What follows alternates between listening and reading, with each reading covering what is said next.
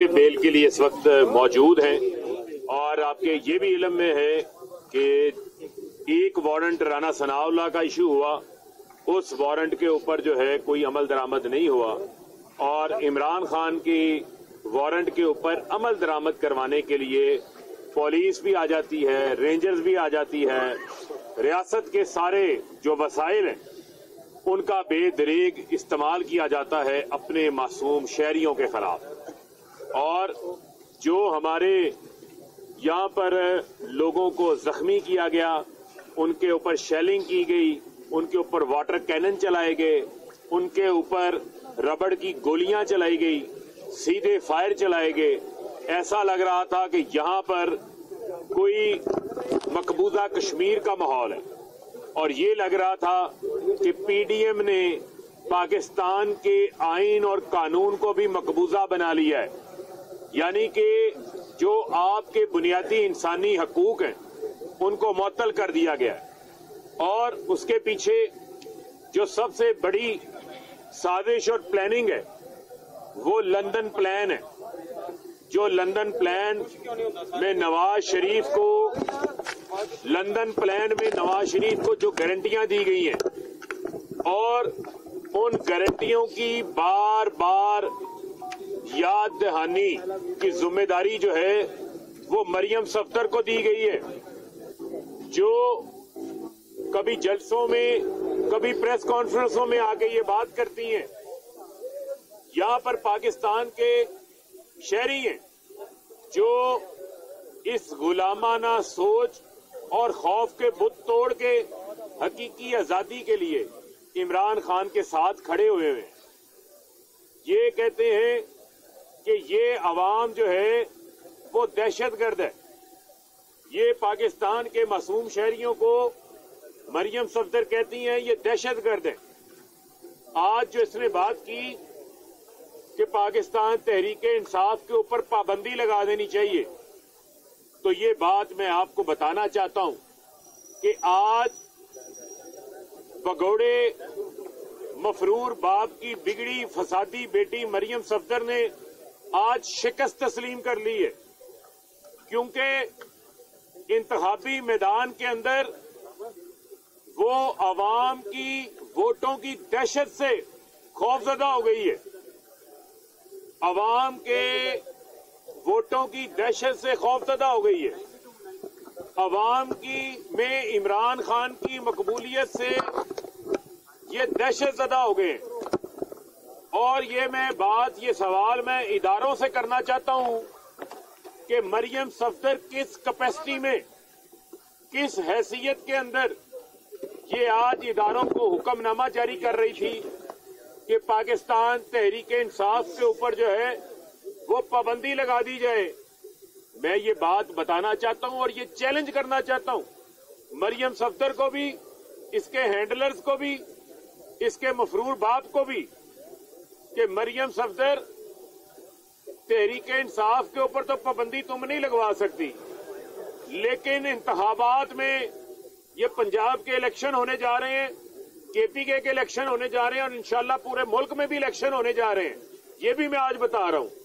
ये अवाम अपने वोट्स के ज़रिए इंतबात के ज़रिए, इन चोरों डाकुओं के ऊपर इस नून लीग के ऊपर पीडीएम की सारी जमातों के ऊपर अपने वोट की ताकत से ऐसी पाबंदी लगाएगी ऐसी पाबंदी लगाएगी कि वो पाबंदी फिर कभी भी खत्म नहीं होगी। ये शिकस्त आज इसने तस्लीम की है। और ये कहना कि यहाँ जमान पार्क में कोई दहशत गर्द है पाबंदी लगा दी जाए। मैं इदारों को कहती हूँ मिल बैठ के सोचो मिल बैठ के इसके ऊपर पाबंदी लगाओ। किसको डरा रही हैं? किसको खौफ दिला रही हैं? ये लंदन प्लान की कौन सी शिक है? ये लंदन प्लान जब बना, उस वक्त कौन कौन सी गारंटियाँ ली गई हैं? ये सारा प्लान अब पाकिस्तान की आवाम को पता चल गया है। और यहाँ लंदन प्लान नहीं चलना। यहाँ पर आज़ादी का प्लान चलना है। और वो पाकिस्तान की आवाम ने अमल दरामद करवाना है। ये कहती है, शहबाज शरीफ दिन रात मेहनत करते हैं। बड़ी अच्छी मेहनत करते हैं। ऐसी शहबाज स्पीड है। ऐसी शहबाज स्पीड है जो महँगाई 12 फ़ीसद के ऊपर इमरान खान छोड़ के गया था। मैं आज सब मीडिया को कहना हूँ भी ये टॉक शोज़ में भी ये सवाल पूछे कि आज जुम्मे का दिन है, हफ्तावार महँगाई के इशारिये जारी होते हैं। महँगाई 45 फ़ीसद पहुँच गई है 45 फ़ीसद। सत्तर साल महँगाई के रिकॉर्ड टूट गए पाँच रुपए पेट्रोल अभी बढ़ाया, तेरह रुपए डीजल अभी बढ़ाया। साढ़े तीन रुपए बिजली की कीमतों में इजाफा किया है। अभी उसके असरात आइंदा आने वाले हफ्तों में महँगाई की सूरत में और आने हैं। ये अभी जो पिछली कीमतें बढ़ाई थी, उसकी सूरत में महँगाई में इजाफा होता जा रहा है।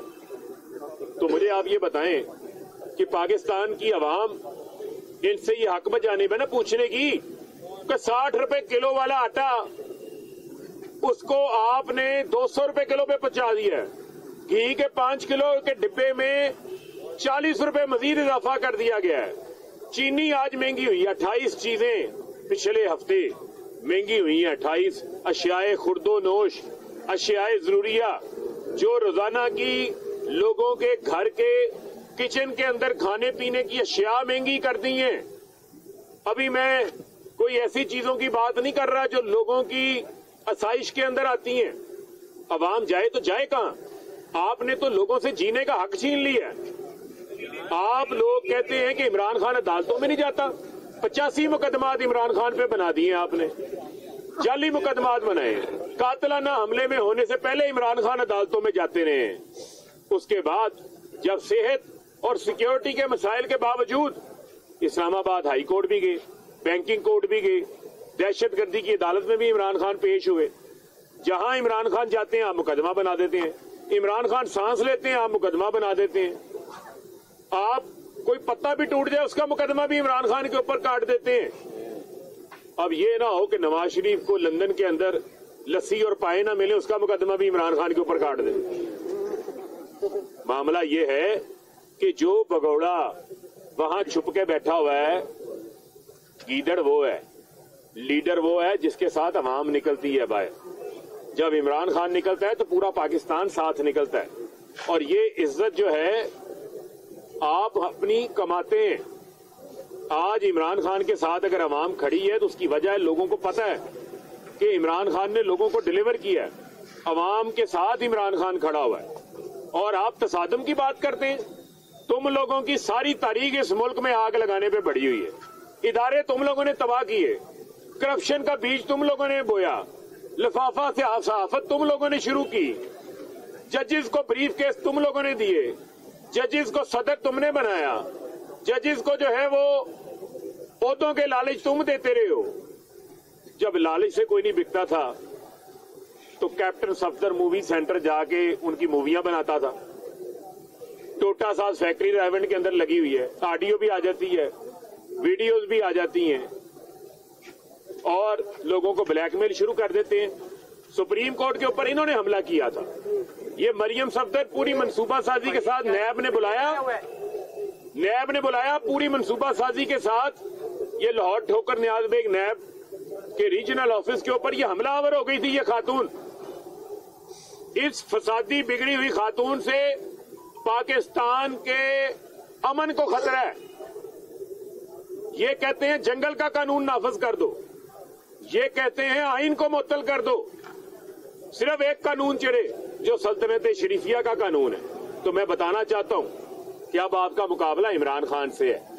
इमरान खान वो, जब क्रिकेट के मैदान में था तो इंडिया की ठुकाई इंडिया में जाके करके आया था। इमरान खान वो है, जो आखिरी गेंद तक मुकाबला करना चाहता है। इमरान खान वो है, जिसको हाथ हरा ना सके, जिसको डर डरा ना सके, जिसको खौफ खौफ ज़्यादा ना कर सके। जिसका जमीर कोई खरीद ना सके, वो इमरान खान है। आपकी क्या हैसियत? आपके नाम के आगे शरीफ लग गया है तो आप कहती हैं कि हमें टेस्ट ट्यूब, लीडरशिप मान लो। ये कौम आपको लीडर मानने के लिए तैयार नहीं है, क्योंकि आपने हमेशा इस मुल्क के अंदर, सवाए अनारकी के, खाना जंगी के, खून रेजी के, कभी भी मरियम सफदर के दिमाग में कोई चीज़ ऐसी नहीं आई। तो लिहाजा, जो भगोड़ा बैठा हुआ है लंदन, उसको को पाकिस्तान आए। और जो जो चन्नू और मन्नू है, वो भी पाकिस्तान आए। वो बड़ी जाके अदालतों में पेशियाँ भुगतते रहे हैं। इनशाला ये जाली मुकदमात का सामना करेंगे, इसको भी खत्म करवाएँगे। फिर बताना चाहता हूँ, फिर ये कहना चाहता हूँ कि ये जो आवाम के वोटों की दहशत है इससे बड़ी कोई दहशत नहीं है। ये उस दहशत से डरे हुए हैं। ये खौफजदा हुए हुए हैं। इनकी कांपे, ऐसे ऐसे काँप रही हैं, कांपे, कांपी जा रही हैं। और अब मैं इनको कहना चाहता हूँ, जो इन्होंने देख लिया है, अब ये बेशक नींद की गोलियाँ खाएँ। ये ख्वाब में भी इमरान खान को गिरफ़्तार करने का सोचेंगे ना, ख्वाब में भी। इमरान खान को, क्योंकि इमरान खान ने कोई गलत काम नहीं किया। चोरी नहीं की, डाका नहीं मारा, करप्शन नहीं की। तो ख्वाब में भी इनको जो है, वो हकीकी आज़ादी के ये मतवाले नज़र आएँगे। लिहाजा इस मुल्क के अंदर इस्तेहकाम के लिए वाहिद रास्ता है, जो इमरान खान साहब ने बात की कि हम सबके साथ बात करने के लिए तैयार हैं, लेकिन किसी चोर के की चोरी, माफ़ी के ऊपर बात नहीं होगी। इस मुल्क के इस्तेकाम के लिए बात होगी, साफ़ और शफाफ इंतबात के लिए बात होगी, और इमरान खान ने अब बॉल आपकी कोर्ट में फेंक दी है। अब ये आपने फैसला करना है, वगरना जो पाकिस्तान की आवाम है, वो अपना फैसला किए बैठी हुई है। जी। फारूक हबीब साहब ये बताइएगा कि फवाद चौधरी साहब ने जो बात की है कि हुकूमत अब वक्त जाया न करे मुजाकरात के लिए बातचीत के लिए वक्त का तयन करे और मुकाम बताए। तो क्या कोई रबता हो गया है या होने जा रहा है? देखिए अभी तक तो कोई रबता नहीं हुआ। यही वजह है कि हमने ये बात की है कि अगर आप ये समझते हैं कि मामलात को जो है वो बातचीत के ज़रिए सुलझाना चाहिए मामलात जो हैं वो अगर बिगड़ गए तो फिर किसी के हाथ में जो है वो कुछ नहीं आएगा। तो उसके लिए मैं समझता हूँ कि ताली दोनों हाथों से बचती है। ताली एक हाथ से नहीं बचती और हम तमाम तर अपनी अवामी सपोर्ट के बावजूद, हम पाकिस्तान के वसी तर मफाद में, मुल्क में साफ़ और शफाफ इंतबात के लिए हर तरह की बात करने को तैयार। फारूक साहब ये बताएँ कि रात शहबाज शरीफ ने कहा कि अभी वक्त नहीं गुजरा, बातचीत हो जानी चाहिए। और आज दोपहर में मरियम नवाज़ ने इल्ज़ाम और डायरेक्ट आपकी जमात में पाबंदी का मुतालबा कर दिया। एक जानब से उसी फैमिली से बातचीत की ऑफ़र हो रही है, दूसरी जानब से बहुत सख्त रिएक्शन आ रहा है। कौन किसे चीट कर रहा है उस फैमिली में? मैं तो आपको कह रहा हूँ, ये कांपे टांग रही है। उनको समझ नहीं आ रही। सठिया गए। उनको ये समझ नहीं आ रही कि बातचीत करें या ना करें।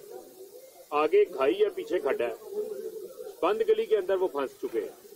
और ये आवाम जो है वो अब तैयार है इनको बदतरीन शिकस्त देने के लिए। तो मैं समझता हूँ कि जो बेहतरीन फॉरम है, वो जमहूर का फॉरम है। और इंतबात में आवाम को जो है वो फैसला करने दें। मजीद मुल्क का ये नुकसान ना करे। और कोई पता नहीं है किस दिन आपको खबर आए कि ये जहाज़ में बाहर फरार हो गए सारा मुल्क का बेड़ागर करके। जिस किस्म की इसहाक डार ने सेनेट में गुफ्तगू की है कि आईएमएफ जो है वो हमें, हमारे मजाइल रेंज के ऊपर कह रहा है कि आप ना करें तो वो कौन होता है?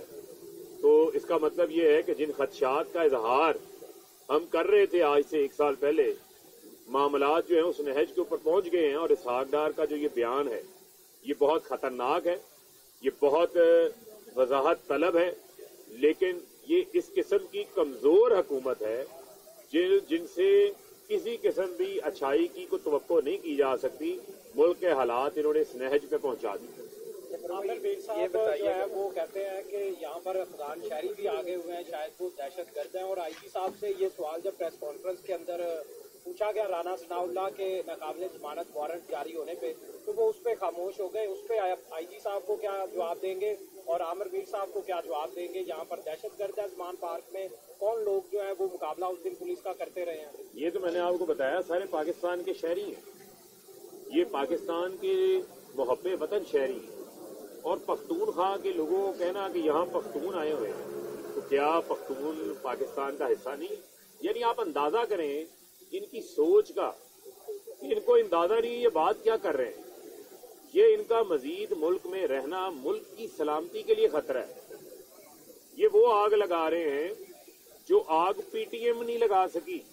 मैं तो ये कहता हूँ कि वो अब इदारे हमारे क्यों खामोश बैठे हुए हैं? ये उन्हीं के लाए हुए लोग हैं ना। तो अब खामोश क्यों बैठे हैं? क्या इनको एनओसी दे दिया गया? फिर उनको भी दे दें। फिर वो जो था वज़ीर अजमल वज़ीर क्या जो एम एन ए पार्लियामेंटेरियन था वो दो साल किस बात की जेल काट रहा था? अली वज़ीर किस बात की जेल काट रहा था? अब मैं बात करूँगा तो बात बुरी लगेगी। ये बताएँ कि आप लोगों के पास वो कौन सी टेक्नोलॉजी है और कहाँ से आपने ड्रॉप की है जिसका मजीद नवाज़ ने ज़िक्र किया है जो पेट्रोल बम बनाती है? देखिए, पता नहीं कौन सी टेक्नोलॉजी है जो इनको नज़र आई है। ये वो लोग हैं जो कि दूसरों के इज्तमात में भी लोगों को भेजते हैं, फसाद करवाने के लिए। तो मैंने आपको पहले कहा कि इस खातून का जो दिमाग है, वो चलता ही फसाद और जालसाजी के ऊपर है। पाकिस्तान के अंदर अगर कोई पनामा रानी के बाद जो दूसरा एजाज इसने पाया है, वो फसादी रानी का पाया है। बहुत शुक्रिया। इमरान खान